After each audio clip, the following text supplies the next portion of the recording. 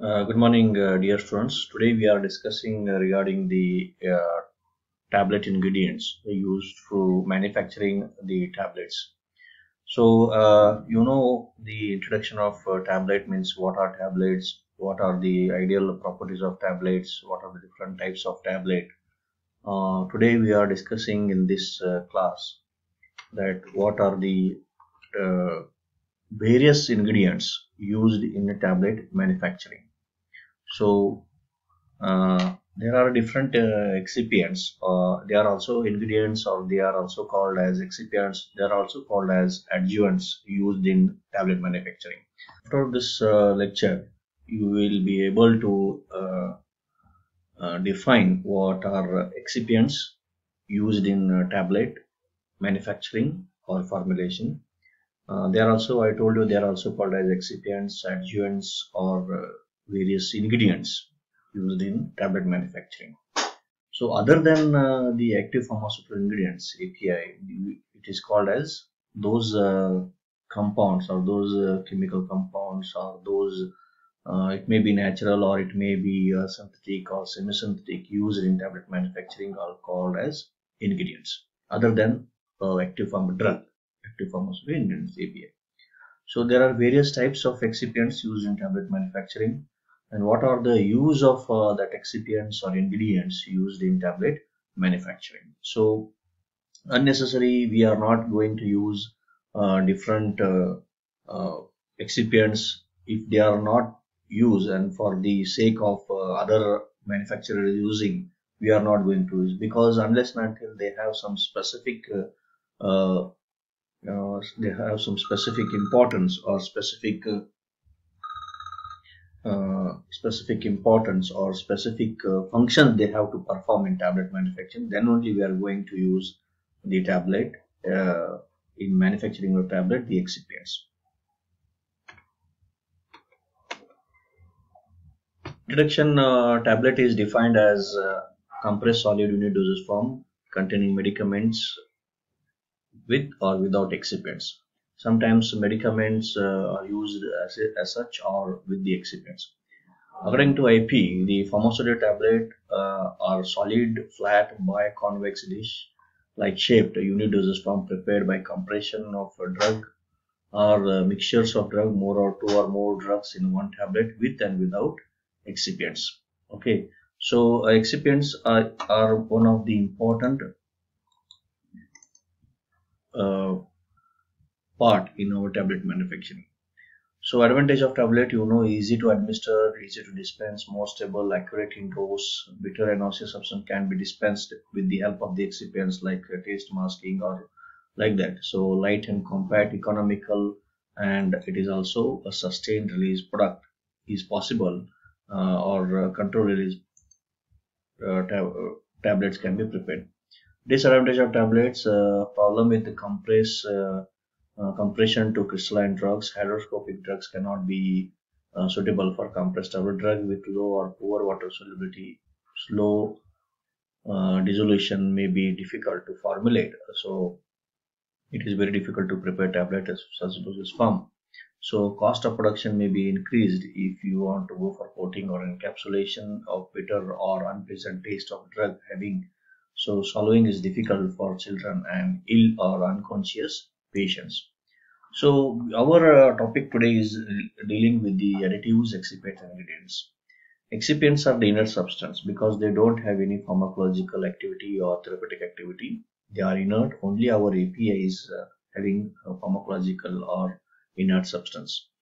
Uh, is so uh, it are, they are inert substance which is added along with the medication to prepare the granules from the solid medicaments. Uh, the excipients which are we are using in our tablet manufacture should have some uh, property. Uh, such as uh, physical and chemical stable they should not uh, react or they should not change their physical property when they are added in tablet manufacturing they are biologically inert as definition itself we have defined they are inert substance so they are biologically inactive only uh, they are the uh, used in tablet uh, manufacturing for other functions like such as diluents or later part we will discuss uh, should not affect the drug viability. Uh, they are free from microbial contamination. Uh, all the excipients which we are using, they should have some pharmacological standards and they are approved from the regulatory agencies and must be incompatible uh, with the problems. So they should not react with our drug or they should not react with the excipient excipient drug excipient reaction or the um, they should not be react with your packing material or any such type of incompatibility should not be occurred. So uh, there are uh, different excipients uh, used in tablet manufacturing. Uh, some excipients which are generally required for tablet manufacturing are diluents, binders, adsorbing agent, disintegrating agent, dissolution modifying agents, anti-frictional agents such as lubricating agents, glidants and antiadherents. These are the different uh, excipients are generally used. Other than this also some excipients are used but Generally, these excipients are used in a uh, formulation of the tablet or tablet manufacturing. Uh, whitening agents, organoleptic agents, and color and organoleptic agents such as coloring agent, flavoring agents, and sweeteners. So these are the various various excipients used in tablet.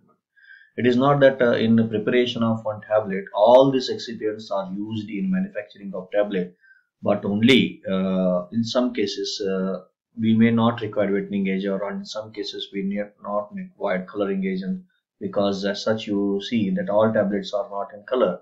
All tablets are not uh, flavor or sweetener some cases we have some cases it depends upon what type of tablet we are going to prepare and what is the actually uh, we required certain uh, properties from the tablet. So you uh, first of all diluent. So first uh, diluents uh, uh, we actually these are the major excipient used in tablet manufacturing. Uh, so diluents are the fillers uh, used to make uh, required bulk of the tablet when the drug dose itself is inadequate to produce the bulk. So suppose we have a very potent drug, very 10 mg, 5 mg dose is required, or sometimes we required 100 mg, 50 mg, or maybe 500 mg or 650 mg but uh, certain uh, drugs cannot be uh, sufficient or the bulkness to prepare the tablet. So diluents are the major excipient used in almost all tablets to make the bulkiness. Second reason why uh, we are using uh, to provide the better tablet properties such as because compression property is not there in the drug itself. So to improve the cohesion to permit the use of direct compression manufacturing or to promote the flow of the tablet. There are various diluents used um, uh, in the tablet manufacturing uh, types, so that is organic uh, and inorganic diluents. Organics are carbohydrate or derivative fibers such as dextrose, lactose, microcrystalline cellulose. Inorganic are the salt of metals and calcium, that is calcium phosphate, dibasic uh, calcium phosphate, tribasic calcium phosphate, or uh, from the inorganic uh, source. Uh, second uh, important excipient is binders. They are used in granulation to prepare the granulation to provide the proper strength to granules. Means the particles they will bring the particles together and adhere the particle to form the granules in order to keep the tablet intact or after compression. Uh, the selection of proper binder binding agent and its concentration depends on type of tablet for which it is used.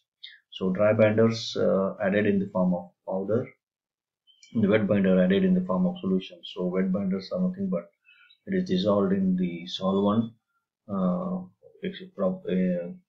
vehicle and uh, the, it is used as a solution. The very granulating agent used in the manufacture in the tablet are acacia, tragacanth, starch, gelatin solution uh, used so adsorbing agent, there are certain substances used in the tablet manufacture such as volatile oils, uh, liquid extracts or tinctures. So we require to adsorb the substance to certain because they have in liquid nature which is included in the tablet formulation of tablet. So magnesium carbonate and kaolin starch are some adsorbing agent used when we use some volatile oils or liquid or tinctures in manufacturing of tablet. Fourth, uh, disintegrating agents. It is very important uh, agent uh, after the diluent I use in manufacturing of tablet. The substance which fourth is the disintegrating agents. Uh, the substance which are added uh, in the tablet formulation to ensure disintegration of the tablet into smaller particles when swollen. So uh, disintegration is uh, generally divided into two parts. Uh, one part is mixed with the other excipients before the formulation of tablet and other part uh, is mixed when they with the dry granules before compression. So example of the disintegration is starch, uh, sodium carboxymethyl cellulose, the PVP. So disintegration agent act in the three ways uh, by swelling, by producing efflorescence, and they melt at the body temperature. So gets uh, swelled when it comes in contact with the water or moisture. Example: potato starch, maize starch or methyl cellulose by swelling. Means they absorb the moisture or come in contact with the water or moisture. They swell and uh, the tablet get disintegrated. Producing efflorescence they produce efflorescence when they come in contact with the moisture. Example sodium bicarbonate citric acid tartaric acid and cocoa dissolution modifying agent. These agents uh, can change drug release pattern from the tablet uh, mostly used in control or sustainability drug delivery systems. So, sixth is anti-frictional agents, uh, lubricating agents, glidants, and anti-adhesive agents. Lubricants uh, are intended to prevent adhesion of the tablet material to the surface of the dies and punches, reduce interparticle friction, and may improve the flow property of the tablet granulation. Glidants, uh, they improve the flow property of the granules from the hopper to the die to tablet punching machine. So they if uh, glidants are there, the granules will flow uniformly through from hopper to the uh, punching site. So the bulk of the granules will come to the punching site will be very uniform. So there may not be any high or low granules talc, sodium uh, chloride, uh, boric acid, calcium citrate can be used as the uh, glidants. Anti-adhering agents, uh, they prevent sticking of the tablet surfaces to die and punches during compression, that is magnesium stearate and stearic acid. Uh, so all the three, that is lubricating agents, glidants and anti-adhering agents, they are come under the uh, anti-frictional agents. Wetting agents are also sometimes used in tablet manufacturing, uh, such as agents. Uh, these are the agents which are added to tablet formulation containing poorly soluble components such as active ingredients, preservatives, and antioxidants. So, last uh, but uh, very important uh, class of excipient that is organoleptic agents, that is coloring agents. They are added in the tablet for the triple mask the off color of the drugs produce identification and produce the ligand effect to the tablet. Two forms of colors are used in tablet preparation, the D and C and D and C dyes. These dyes are applied as a solution in melting agents or lake form of these dyes. Uh, lakes or dyes absorbed on the anhydrous oxide and employed as a dry, dry powder coloring. Flavoring agents uh, used in chewable tablets or tablet intended to dissolve in mouth. Uh, flavor oils uh, are used and are added to the tablet granules in solvents, uh, clays and other adsorbents are emulsified in the aqueous. Chewable tablets, uh, flavor oils are used. The maximum amount of the flavoring agents are used in 5.5 to 0.7 percent. Sweetening agents uh, are other uh, important um, uh, organoleptic agents uh, impart the sweet taste and to mask the bitter taste which are sugars mannitol are used saccharin and aspartame but the disadvantage of this uh, are with bitter aftertaste and uh, are carcinogenic. So lack of solubility is presence in the uh, moisture. So these are the various excipients